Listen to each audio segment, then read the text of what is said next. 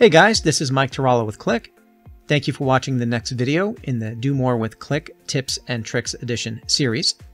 In the last video, I covered our anyone role or permission. In this video, I'm going to cover the from field argument, which is available within the load statement. And this is going to help us parse a field that contains a JSON-like structure that we can break up into its own table. Before we continue, please be sure to visit the Qlik Learning portal at learning.qlik.com for all your personalized and structured learning needs of what Qlik has to offer. Here you can select from both free and subscription-based content, instructor-led training, skills assessments, and robust video tutorials. Check out the video tour on the main page to get started.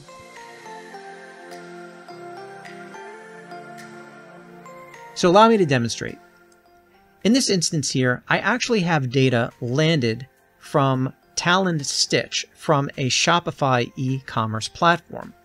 And when it landed the data into Azure, into Microsoft SQL, as you see here, the default address for my customer data is actually in the form of a JSON format. So the province, the country, the city, the state, the customer ID, the name, all that important information that I need for analytics is actually in a field called default address. And I need to be able to parse this so I can use this for my analytics. So let me show you how I can break up that field and put it into its own address dimension table, if you will. So to do that, I'm going to go into my Qlik Sense environment. I'm going to go to the data load editor. I'm going to access the data from Microsoft Azure SQL. I'll choose my schema. Going to choose my customers table and to make things simple, I'm just going to filter where email is equal to John Doe Qlik at Outlook.com, just to retrieve one record of information. And then from the fields list, we're going to grab the default address, as well as other important information we're going to need, such as the ID for the customer that we're going to link this table to, which we're going to call customer underscore ID and maybe just some metrics such as total spent or order count. And that's all we need from this list here. Perhaps maybe we could even grab the email address and then insert the script.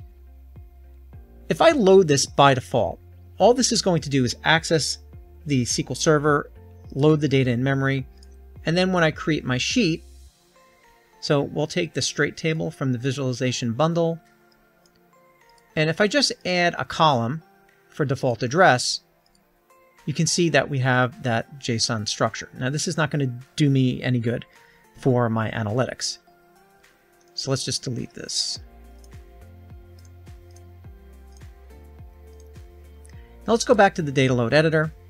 Okay, so let's now paste in the secret code that's going to help us do this.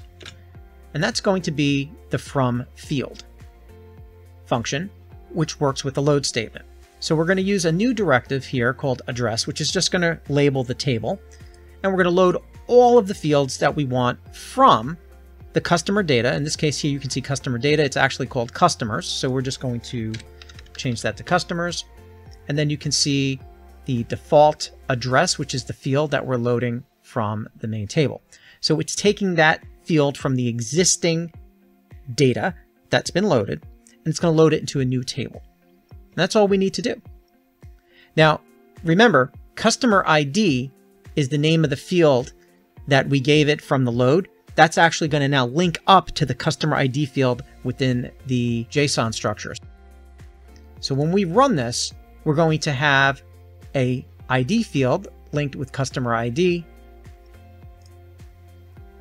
and we'll be able to create a dimension table. So now it's been loaded. Let's go into our data model viewer. And now you can see the address, customer ID, and then the raw data or the data that's just coming from customers has been loaded. Let's go to our sheet. Let's add our columns. And now, if I select from tables, I actually have my address table. And now I can choose the customer ID, first name, last name, phone number, country name, company, city, and address 1 and address 2. And there we go.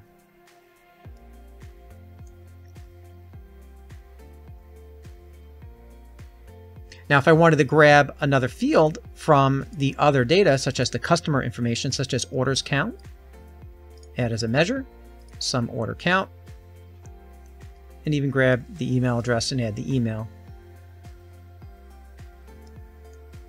Could even position that up front. And there it is. So now we have that important information in our data structure that we can use from analytics parsed directly from that default address field that came from our query. Let me know what you think about this in the comments below, and I hope to see you on the next video.